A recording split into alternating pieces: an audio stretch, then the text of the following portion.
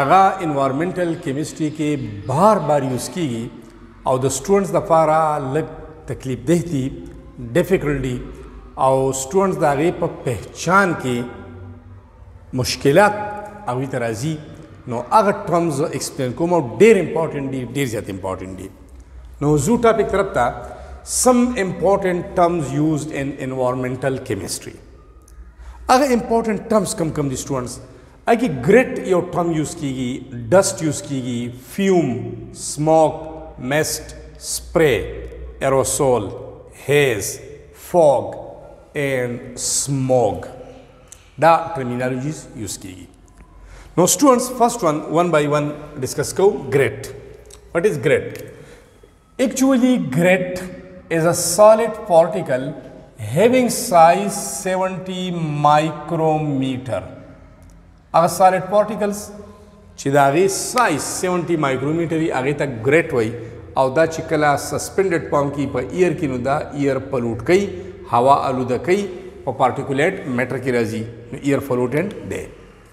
بل دی ډسټ مونږ چې وتا ګرد غبار وایو کلیئر ده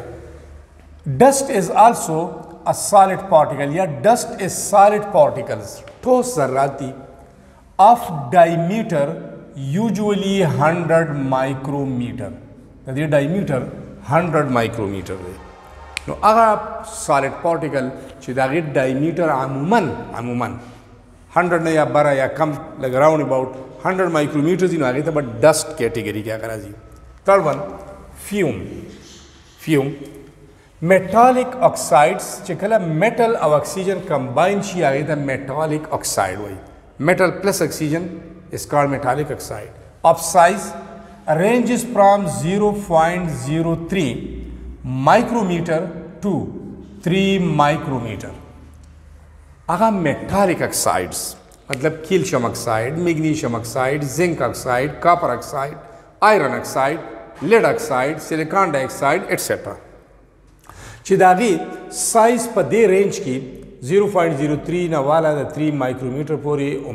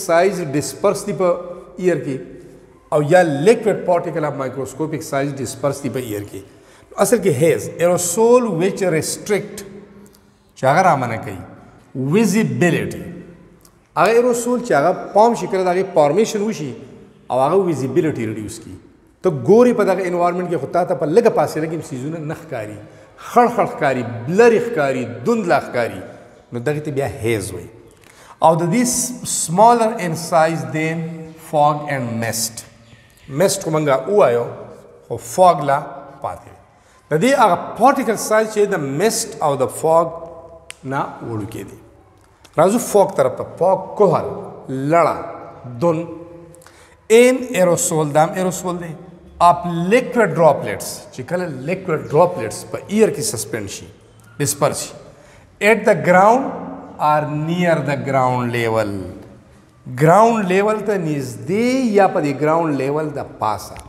اکثر به تاسو په جنوري فبروري یا خصوصا دسمبر لاست او جنوري کې یی نه چې دا موټر ویز باندې یا چې کوم ځای کې سیند دی سمندر دی دریاب دی بحر دی نو هلته دوندي دوند نو دغه څه دي دا اصل کې زموږ سره دا لیکوډ چې کله ایواپوریټ شي او بیا کنډنس شي نو دغه لیکوډ ډراپس ته کنورټ شي په نیر د ګراوند لیول او یا بالکل په ګراوند د پاسه څه ټایم بعد چې هغه کله ختم شي نور راوخیږي او دغه ویپورایز شي دغه لیکوډ ډراپلټس نو که ستاسو خیال یا ویپورایز شي او یا ښکته راشي دغه روډ لمدی هم دغه شي ته سوی فاګ وته یعنی ان ایرو سول of liquid droplets at the ground or near the ground level. It is a thick cloud.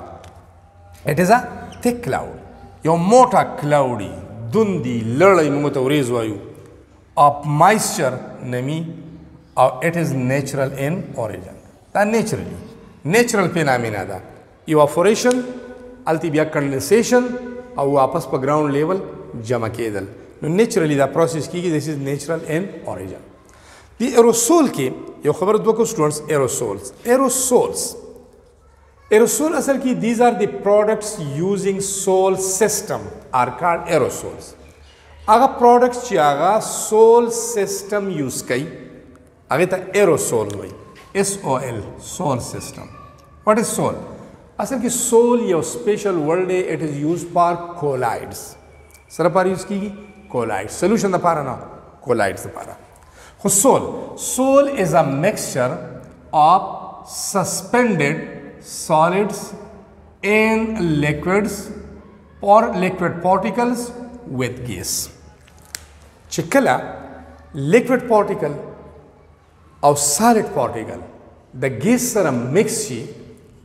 او هغه سسپندډ پام کې یو هیټروجینیس مکسچر جوړي مطلب کولایډ جوړي اوم دقه ته سول وي کولایډ ته وي بیا که تاسو خیال کړئ ایروسول سپری سپری د باډي سپری پرفیوم سپری اگزامپل شته ایئر فرشنر موږ یو ته روم سپری وایو کمره فی فرش کو یا هیر سپری وخت په سپری کو او یا انسیکټ ریپیلر سپری چې هغه انسیکټ ریپیل کوي مچانو والا ماشو لپاره سپری نو اکچولی یو باټلی هغه باټل کې ایر دوی والی او هغه ایر سره سالډ یا لیکوډ